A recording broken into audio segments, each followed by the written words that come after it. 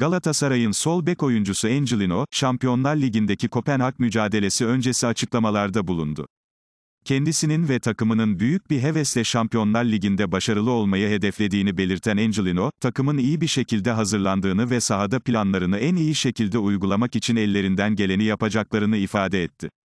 Oyuncular arasındaki uyumun her geçen gün daha da arttığını söyleyen İspanyol futbolcu, takım arkadaşlarının kendisini çok iyi karşıladığını ve birbirlerine alıştıklarını dile getirdi. Bu süreçte her gün birbirlerini daha iyi anlamaya başladıklarını ve takım olmanın önemini kavradıklarını belirtti. Angelino, Galatasaray'ın bir parçası olmaktan dolayı çok mutlu olduğunu vurguladı. Angelino, Galatasaray'ın tarihine atıfta bulunarak, her maça olan azimle ve mücadeleyle yaklaşmalarının gerektiğini söyledi. Takımın güçlü bir kadroya sahip olduğunu ve Avrupa'nın en iyi takımlarıyla karşılaşmayı heyecanla beklediklerini belirtti. Her maçta ellerinden gelenin en iyisini yapacaklarını ve Galatasaray'ın başarılarını tekrar yaşatmak için ellerinden gelenin en iyisini yapacaklarını ifade etti. Başarılı sol bek, takım arkadaşı Kerem Aktürkoğlu'nun da performansı hakkında olumlu sözler sarf etti. Onunla oynamanın keyif verici olduğunu belirten Angelino, her geçen gün birbirlerine daha fazla alıştıklarını ve birbirlerine yardımcı olduklarını ifade etti. Kerem Aktürkoğlu'nun savunmada da kendisine yardımcı olduğunu ve birlikte oynamanın harika bir deneyim olduğunu söyledi. Galatasaray'ın sol bek oyuncusu Angelino'nun açıklamaları, takımın Şampiyonlar Ligi'ndeki hedeflerini ve birlikte çalışmanın önemini vurguluyor. Taraftarların desteğiyle birlikte, Galatasaray'ın Şampiyonlar Ligi'nde başarılı bir performans sergilemesi için heyecanla beklenen mücadelelerin birinde yer alacakları açıkça görülüyor. Takım KOGBMAİ'ye Galatasaray 16.116 28 29 59 milyon 113.211 Beşiktaş 8 50 13 9 28 46 102 Fenerbahçe 6 40 11 6 23 42 70 Trabzonspor 1 6 1 4 1 3 5 Bursaspor 1 6 0 1 5 2 16 Medipol Başakşehir 1 6 1 0 5 7 18 Ülkemizi UEFA Şampiyonlar Ligi'nde temsil eden takımların performansı bu şekildedir. Galatasaray 116 maça çıkarken, toplamda 28 galibiyet, 29 beraberlik ve 59 yenilgi elde etti. Beşiktaş ise 50 maçta 13 galibiyet, 9 beraberlik ve 28 yenilgi yaşadı. Fenerbahçe 6 kez Şampiyonlar Ligi'nde mücadele etti ve 40 maçta 11 galibiyet, 6 beraberlik ve 23 yenilgi elde etti. Trabzonspor, Bursaspor ve Başakşehir ise 6'şar kez Şampiyonlar Ligi'nde sahaya çıktı ancak pek başarılı olamadılar. Türk takımları toplamda 224 maça çıkarken, 54 galibiyet, 49 beraberlik ve 121 yenilgi yaşadı. Bu maçlarda toplam 213 gol atan Türk takımları, kalesinde ise 422 gol gördü. Şampiyonlar Ligi'nde Türk takımları tarihinde birkaç başarıya da imza attılar. Galatasaray 2000-2001 ve 2012-2013 sezonlarında çeyrek finale yükselirken, Fenerbahçe 2007-2008 sezonunda çeyrek final heyecanı yaşadı. Ancak hiçbiri yarı finale kadar ilerleyemedi. Galatasaray'ın 2000-2001 sezonunda çeyrek finalde Real Madrid'e elenmesi büyük bir başarı olarak kabul edilir. Fatih Terim, Türk takımları içerisinde Şampiyonlar Ligi'nde en çok maça çıkan teknik direktördür. Galatasaray'ı 53 kez yönetirken, Mircea Lucescu ise Galatasaray ve Beşiktaş'ı toplamda 32 kez yönetti. Ne yazık ki, Fenerbahçe ve Beşiktaş Şampiyonlar Ligi'nde puan alamayan takımlar olarak ön plana çıkıyor. Fenerbahçe 2001-2002 sezonunda grubundan puansız ayrılırken, Beşiktaş da 2021-2022 sezonunda hiç puan elde edemeyerek gruplarını tamamladı. Ancak, Beşiktaş 2017-2018 sezonunda birkaç rekora imza attı. Takım, grup aşamasını namalup ve lider tamamlayarak Türk takımları arasında en fazla puana sahip olan takım oldu. Ayrıca, grup aşamasında 11 gol atan Beşiktaş, Türk takımları içerisinde en fazla gol atan takım unvanını elde etti. Türk takımları Şampiyonlar Ligi'nde henüz sonuç almakta zorluk çekiyor. Ancak her sezon yeni bir şans elde ediyorlar ve umutla yol almaya devam ediyorlar. Galatasaray Teknik Direktörü Okan Buruk, UEFA Şampiyonlar Ligi A grubunda oynayacakları Kopenhag maçı öncesi basın toplantısı düzenledi. Florya Metin Oktay tesislerinde yapılan toplantıda, Buruk, takımının grup aşamasından çıkma hedefini vurgulayarak maçın zorluğuna dikkat çekti. Buruk, basın toplantısında yaptığı açıklamalarda, Galatasaray'ın Şampiyonlar Ligi'nde en yüksek başarılarına sahip olan takımlar arasında yer aldığını belirterek maçın önemine vurgu yaptı. Bu maçı geçen seneden hayal etmeye başladık. Galatasaray'ın genlerinde olan ve Şampiyonlar Ligi'nde en yüksek sayıya ulaşan takımların arasında Galatasaray'ın da olması çok değerli, diyen Buruk, takımın bu büyük turnuvada yer almanın keyfini yaşamaları gerektiğini ifade etti. Grup aşamasına 3 Türk takımının kaldığına dikkat çeken Okan Buruk, Galatasaray'ın gruplardan çıkma hedefine odaklandığını söyledi. 3 Türk takımı gruplara kaldı ve hepsinin hedefi de gruplardan çıkmak. 6 tane çok önemli maç var. Burada olmanın keyfine varmamız gerekiyor. Bütün maçlarda kazanmayı arzu etmemiz gerekiyor. Bundan önceki senelerde gösterdiğimiz başarıları yeniden yaşatmak istiyoruz, şeklinde konuştu. Rakip Kopenhag'ı genç ve lider bir takım olarak nitelendiren Buruk, Galatasaray'ın en fazlasını yaparak mücadele edeceğini belirtti. Karşımızda genç ve lider bir takım var. Son iki senenin şampiyonu. Elimizden gelenin en fazlasını yapacağız. En önemli şey sabırlı olmak. 90 dakikaya maçı yaymak gerekiyor. Oyuncuların hepsine 90 dakika destek vermek gerekiyor, ifadelerini kullandı. Kadrodaki önemli bir oyuncu olan Zaha'nın maçta yer alacağını açıklayan Buruk, oyuncunun maç eksiği bulunduğunu ancak tam kadro olarak hazır olduklarını ifade etti. Zaha'yı maçta kadroya alacağız. Oynayabilecek duruma geldi. Tabii ki maç eksiği var. Full olarak antrenmanlarını yaptı. O da kadromuzda oynayabilecek oyunculardan birisi. Tam kadro hazırız, dedi. Gruptaki rakip takımlar arasında favori olarak gösterilen Kopenhag'ın gücünü kabul eden Okan Buruk, her takıma eşit gözle baktığını ve sahada kimin ne yapacağının belirleyici olduğunu söyledi. Gruptaki bütün takımları eşit görüyorum. Kadro olarak favori takımlar var ama benim düşüncem sahada kimin ne yapacağı. Kağıt üzerinde değerlendirmek bir anlam ifade etmiyor. Burada birçok Avrupa Kupası maçında bunu yaşadık. Rakibimiz puan almaya gelecek, iyi savunma yapmamız gerekiyor. Kopenhag iyi bir takım. Grupta herkes kadar şansı olan bir takım. O yüzden rakibimizi önemsiyoruz. Kazanmak için kendi konsantrasyonumuzu en yukarıya çekmemiz gerekiyor, şeklinde konuştu. Son olarak, Okan Buruk, Zanka Nelson'dan Kopenhag hakkında bilgi aldıklarını belirtti. Nelson'un takımın en iyi tanıyan isimlerden biri olduğunu ve verdiği bilgilerin önemli olduğunu ifade etti. Ayrıca, takımın oyun yapısına, rakibin yapısına ve maçın gidişatına göre dörtlü veya üçlü defans oynayabileceklerini ifade eden Buruk, Zaha'nın hücuma katkı sağlayacağını düşündüğünü dile getirdi. Galatasaray, Okan Buruk yönetimindeki teknik kadro eşliğinde, UEFA Şampiyonlar Ligi A grubundaki Kopenhag maçına güven ve istekle hazırlanıyor. İlk hedeflerinin gruptan çıkmak olduğunu belirten Buruk, takımını motive ederek galibiyet için sahaya sürmeyi planlıyor. Galatasaray taraftarları da bu önemli maçta takımlarını destekleyerek tribünlerdeki coşkularını sahaya yansıtmaya hazırlanıyor. Galatasaray, genç yetenek Beknaz Almazbekov ile profesyonel sözleşme imzaladığını duyurdu.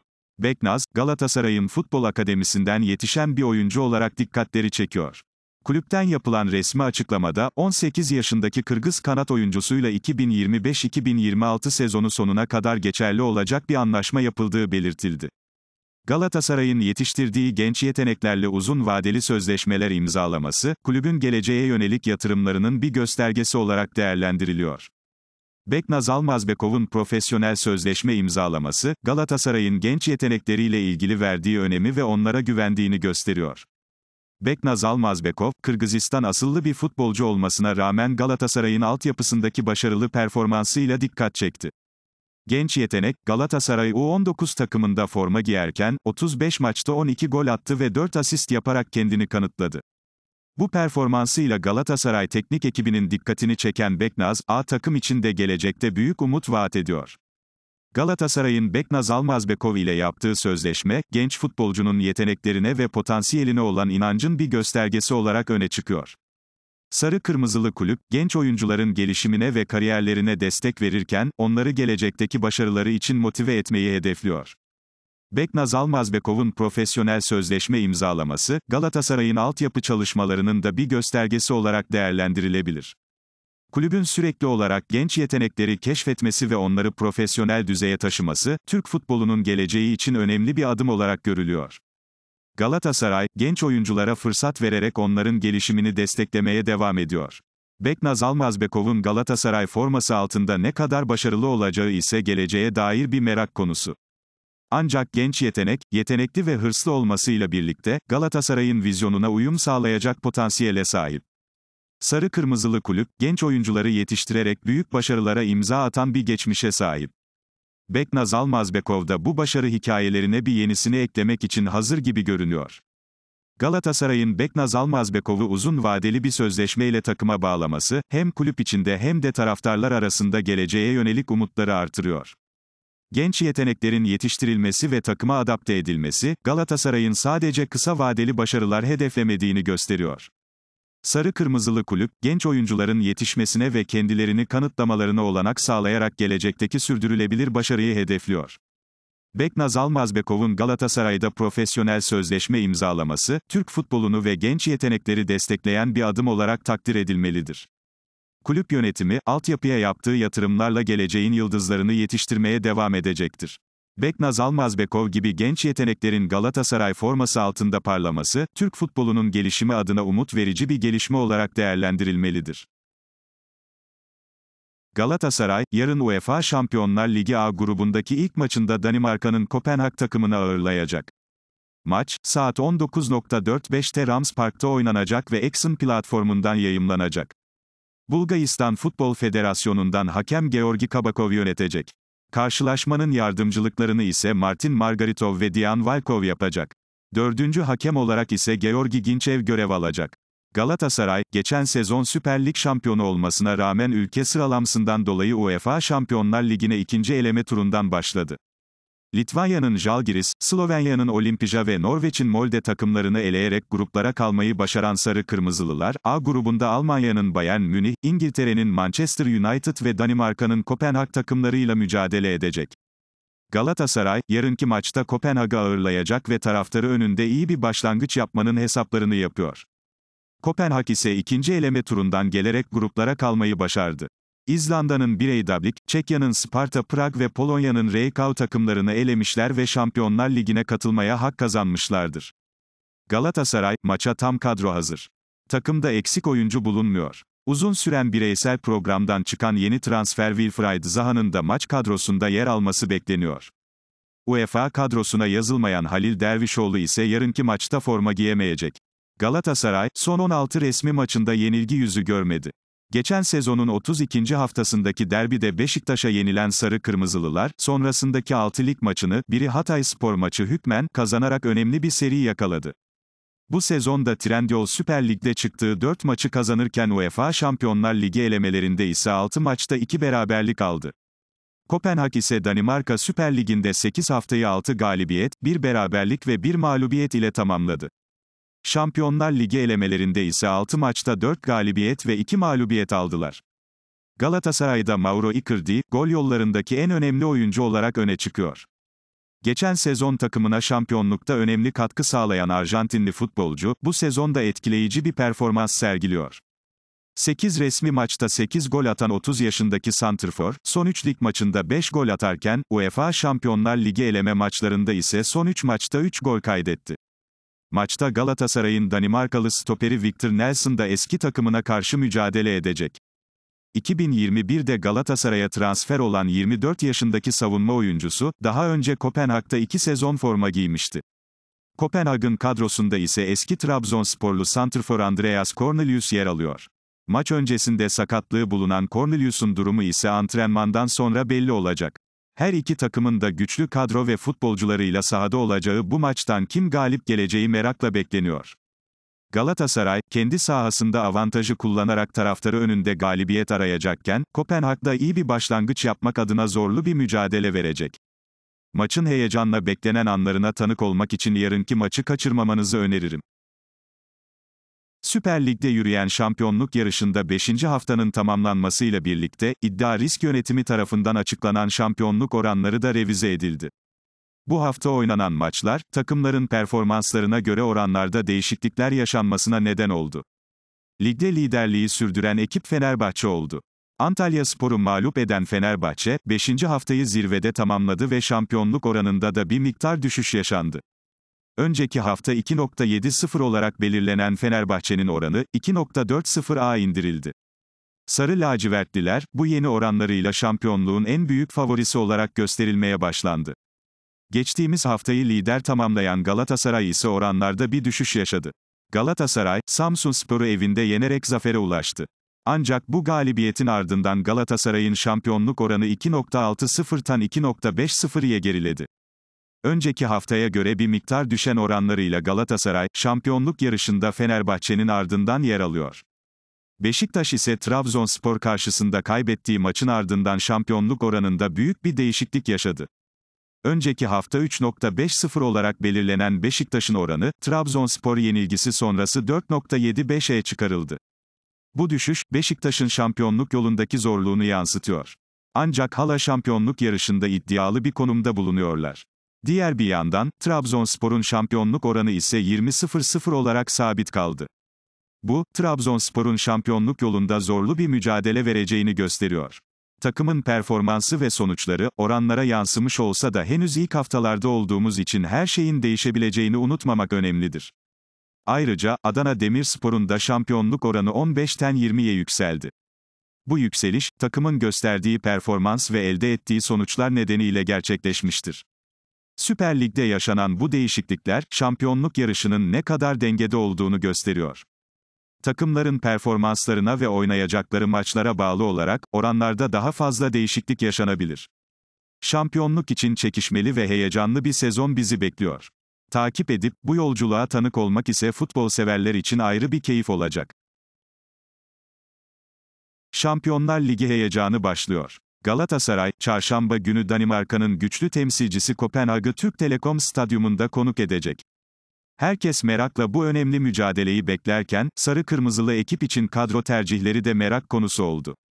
Gelen haberlere göre, Galatasaray Teknik Direktörü Okan Buruk, Süper Lig'deki Samsun Spor maçındaki kadroya göre sadece bir değişiklik yapacak.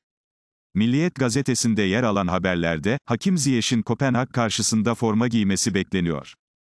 Ziyech, Samsun Spor maçında yedek başlamış ve 46. dakikada Tete'nin yerine oyuna dahil olmuştu. Özellikle son dönemde performansıyla dikkat çeken Ziyech'in, Kopenhag karşısında sahaya çıkması takım açısından olumlu bir hamle olabilir. Grup etabının ilk maçında Galatasaray, taraftarının da desteğiyle galibiyet arayacak. Ancak Kopenhag'da hedeflerini bir üst tura yükselmek olarak belirlemiş durumda. İki takım arasında yaşanacak mücadelede, tempolu ve heyecan dolu anlar bizleri bekliyor. Galatasaray'ın başarılı futbolcuları arasında da yer alan Mustafa Muhammed, Kerem Aktürkoğlu, Sofian Feauli gibi isimlerin performansı da gözlerden kaçmayacak. Galatasaray'ın teknik direktörü Okan Buruk, takımını bu zorlu maça hazırlarken taktiksel anlamda da önemli çalışmalar yapmış olmalı. Zira Danimarka temsilcisi Kopenhag, hücum hattında etkili oyunculara sahip olan bir ekip. Galatasaray defansının bu oyuncuları iyi markajlaması ve kendi oyununu sahaya yansıtması gerekecek. Çarşamba akşamı oynanacak olan mücadele saat 19.45'te başlayacak. Taraftarlar, heyecan dolu bir atmosfer eşliğinde Galatasaray'ın Kopenhag karşısında nasıl bir performans sergileyeceğini görmek için sabırsızlanıyor. Türk Telekom Stadyumu'nun tribünleri bir kez daha kırmızı ve sarıyla dolacak, taraftarlar Galatasaray'ı desteklemek için stadyuma akın edecek. Bu mücadele, Galatasaray'ın Şampiyonlar Ligi'ndeki yolculuğunun önemli bir durağı olacak. Sarı Kırmızılılar, grup etabına iyi bir başlangıç yaparak hem moral bulmak, hem de rakiplerini geride bırakıp bir üst tura yükselmek istiyor. Türk futbol severlerin ve Galatasaray taraftarlarının heyecanla beklediği bu önemli mücadele, futbol severlere dop dolu bir 90 dakika sunacak. Galatasaray'ın Kopenhag karşısında ne yapacağı, maçın sonucunda belli olacak. Futbol severlerin gözü ve kulağı bu maçta olacak. Şampiyonlar Ligi'nin eşsiz atmosferini bir kez daha yaşayacağız ve güzel futbolun keyfini sürmek için sabırsızlanıyoruz. Galatasaray'a başarılar diliyor, heyecanla bu mücadeleyi bekliyoruz.